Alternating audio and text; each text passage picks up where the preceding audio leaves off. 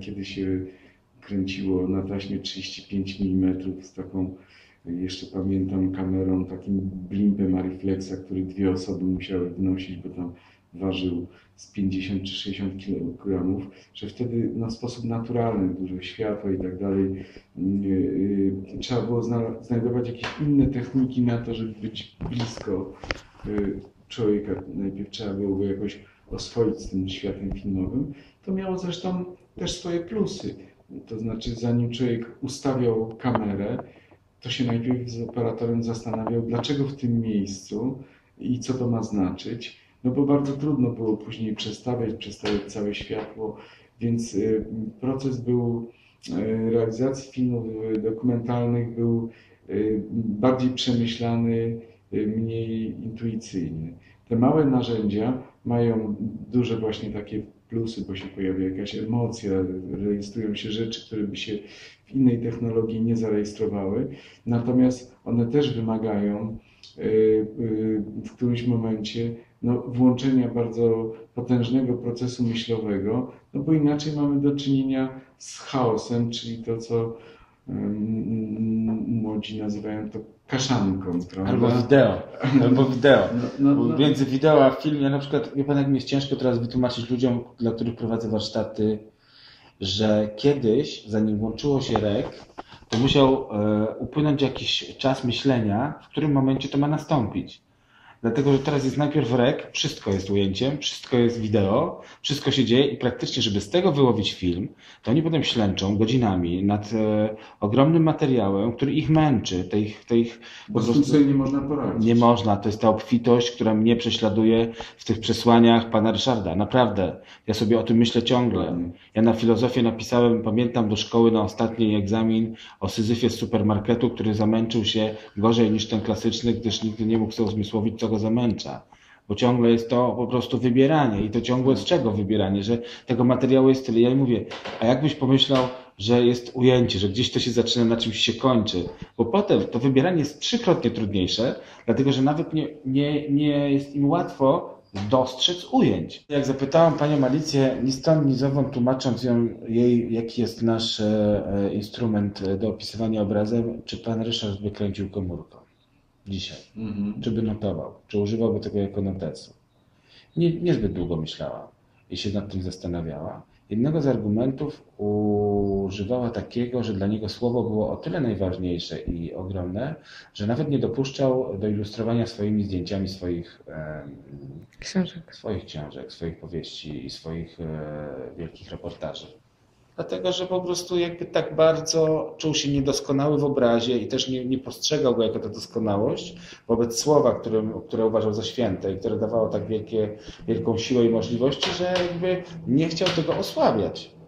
No bo, no bo coś w tym jest. No, wydaje mi się, że, że, że jednak e, film, żeby mógł konkurować z literaturą, mówimy o tej literaturze najwyższej próby, musi, musi być tworem jakimś bardzo przemyślanym, bardzo e, autorskim, bardzo mm, pogłębionym. To, że widzę ten świat i ten świat jest jakiś tam barwny, kolorowy, to jest jeszcze za mało. To jest ta rejestracja na tym pierwszym piętrze, a tak naprawdę to walczymy o te drugie, trzecie, czwarte, e, o, to, o, o, o ten taki wad prawda, duchowy. Y, czyli to, co, y, to coś, co widzę, ma znaczyć y, coś więcej, ma zbudować jakąś relację mm, z widzem, ma wywołać jakąś refleksję. Ja przypominam sobie, mm,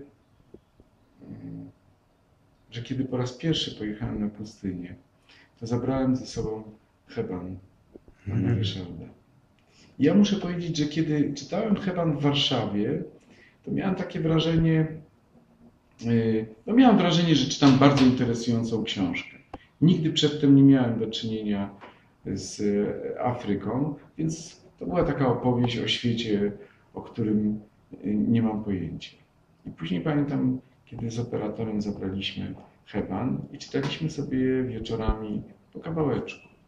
I nagle okazało się, że w tej książce znajdowaliśmy no takie porażające szczegóły, po prostu porażające szczegóły, które świadczą o takiej niezwykłej umiejętności obserwowania świata, ale już nawet na poziomie makro zupełnie. Pamiętam taką opowieść o takim żuczku, który się wspina na pustyni, na, na, na, na jakąś tam taką piaskową górkę, po to, żeby się spocić i z tego spocenia ta woda z powrotem jakby wraca i, i, i on może funkcjonować. Czyli jest taki, taki obraz, taka opowieść o tym żuczku. I pamiętam, że, że czytaliśmy sobie fragmentami, tacy bardzo no, zmęczeni, bo tam bardzo gorąco, sporo mieliśmy też pracy i, i, i, wieczorem, kiedy jeszcze w takich niesamowitych emocjach, bo to było takie pierwsze spotkanie, yy, bardzo energetyczne, yy, próbowaliśmy rozumieć ten świat yy, również przez właśnie fragmenty książki ja pamiętam Kapuścińskiego. I wtedy zrozumiałam, że, że, że, że, to jest, że to jest po prostu literatura, właśnie ta literatura najwyższej próby. To jest ta literatura, która się sprawdza na pustyni, którą czytając w Warszawie, no miałem wrażenie, no bardzo ciekawa książka mistrza. Ja jestem z takiego świata, który marzy o tym, żeby wejść do świata literatury.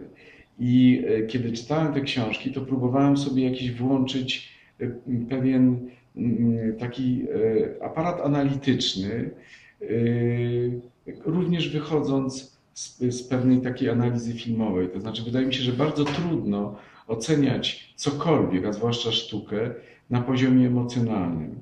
No podoba mi się, nie podoba, prawda? No bo no, każdy z nas ma y, jakiś swój własny gust, co innego mnie się podoba, co innego lubi ktoś inny.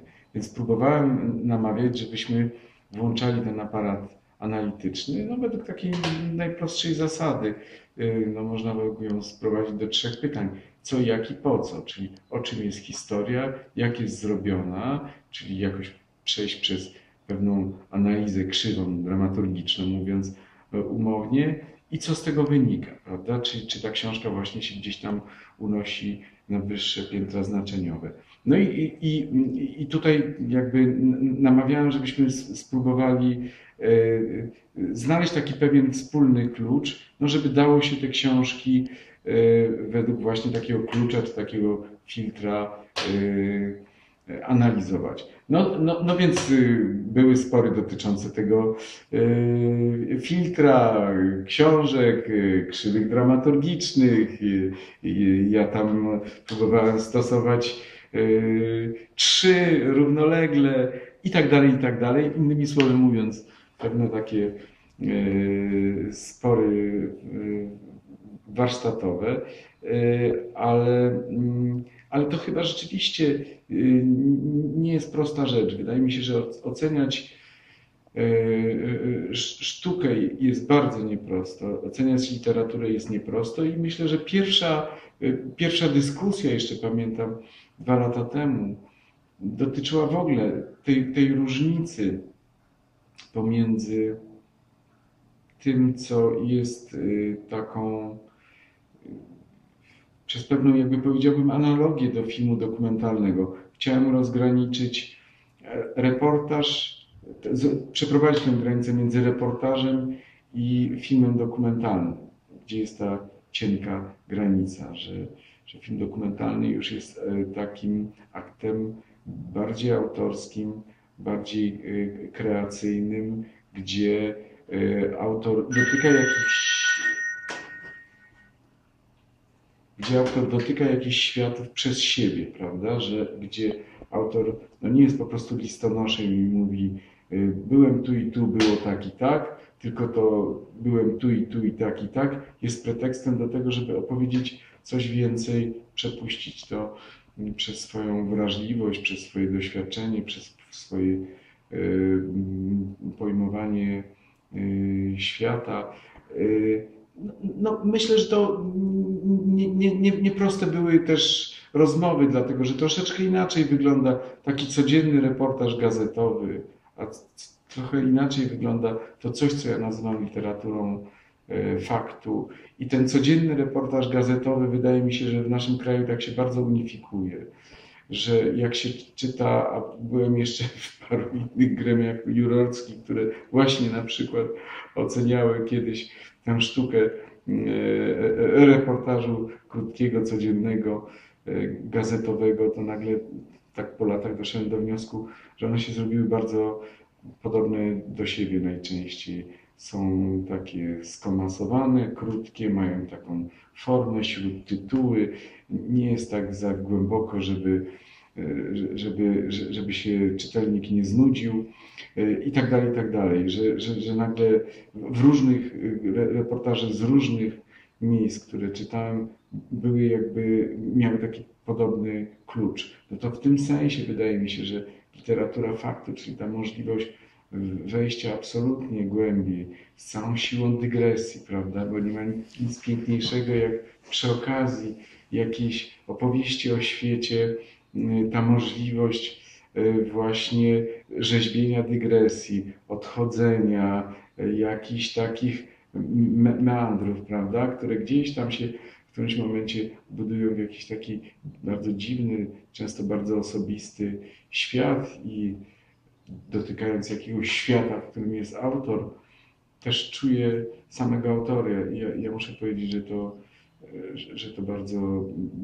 bardzo lubię. To znaczy lubię wiedzieć, z kim mam do, do czynienia. To znaczy, że taka tylko y, czysta obserwacja y, dla mnie przynajmniej jest za, y, za skromna i tu się odwołuję, nie wiem, do dyskusji, o której opowiadał Werner Herzog w ubiegłym roku, dyskusji filmowców, dokumentalistów na festiwalu w Amsterdamie, y, o rolę y, reżysera dokumentalnego filmu gdzie on ma być. No i, i się, jak mówił Werner Herzog, w większości przeważał głos, że, że, że on ma być kompletnie niewidoczny, że ma być jak mucha, ma, ma siedzieć na ścianie i przyglądać się cicho temu światu. A Herzog mówi, a ja nie chcę być muchą. No jeśli już mam być insektem, to wolę być komarem. No chcę, chcę jakoś w ten świat